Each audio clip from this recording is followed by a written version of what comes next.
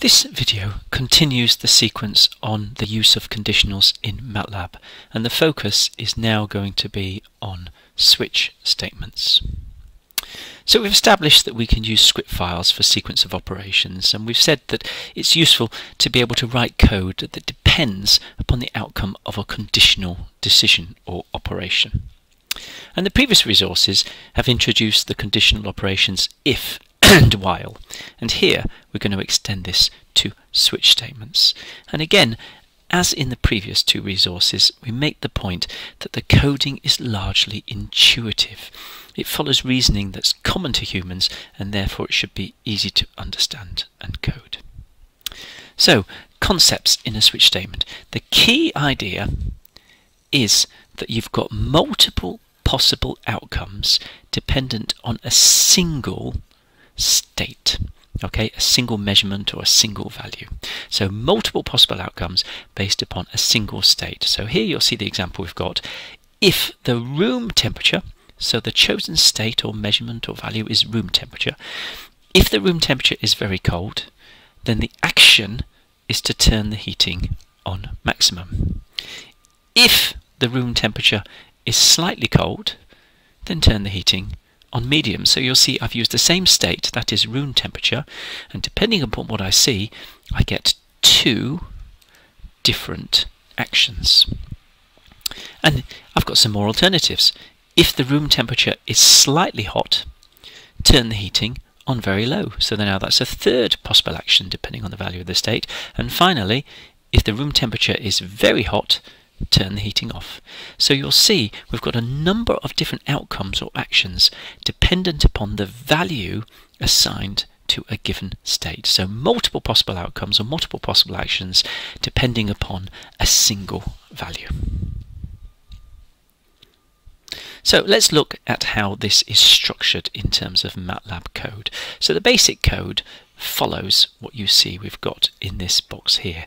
You'll notice the top statement is switch followed by the state, the variable that is your state. So you just go switch and then whatever the variable is, switch state.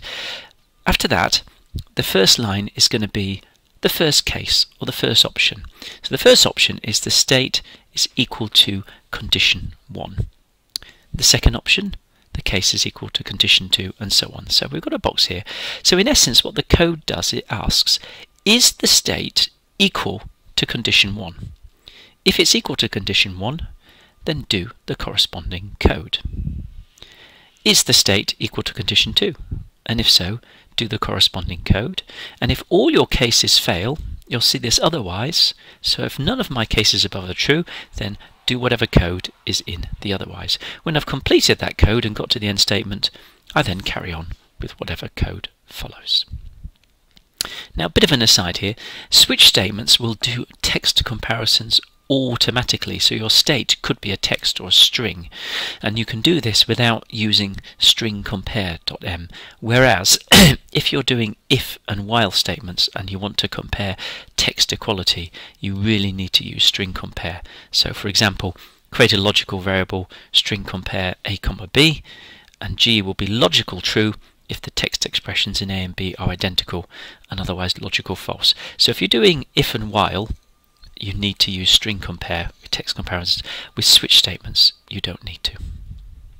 So, some demonstrations with MATLAB. So I've got two different switch loops here that you can look at. So the first one, this top one, you'll see that the variable or state that I've chosen is A. So I'm going to investigate A. So this first line says in essence, it means if A equals equals 2. So case 2 can be interpreted as is this value A equal to 2? Case 0 can be interpreted as is A equal to 0? Case 1 is A equal to 1? And then the otherwise if we've got other values. Down at the bottom here, you'll see we've illustrated that you can do switch statements on strings. So here I'm doing a switch on a variable called text test, which happens to be a string. So here, this is basically saying if text test equals bad. So it's going to look in text test and say, is this a string? And is it a string which has got the, the um, letters bad within it?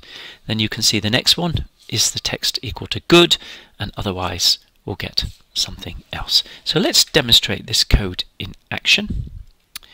So there's our first MATLAB window and there's the second one.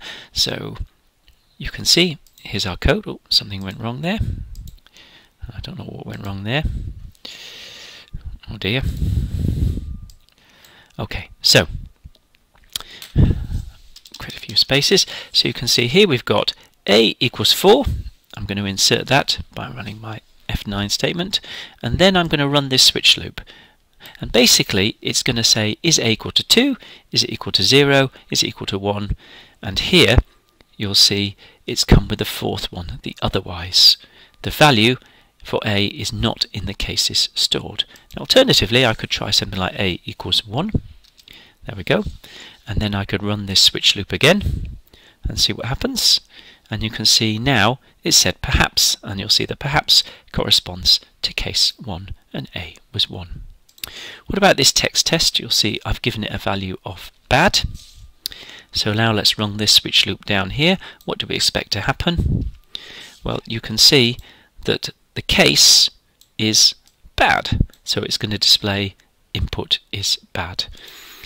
If I change that text test and call it something else, so instead of bad, let's call it bad34, which is a different variable altogether.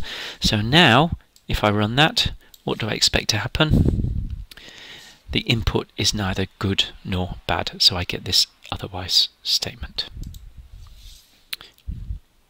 So in conclusion, we've demonstrated the use of switch statements in MATLAB, and these are useful when you have multiple different possible outcomes dependent on the assessment of a single state. So different outcomes, single state. One particular issue with um, switch loops is you can compare strings as well as numerical values. And although we've not shown it here, you can nest while and if conditions within the cases of a switch statement if that's appropriate.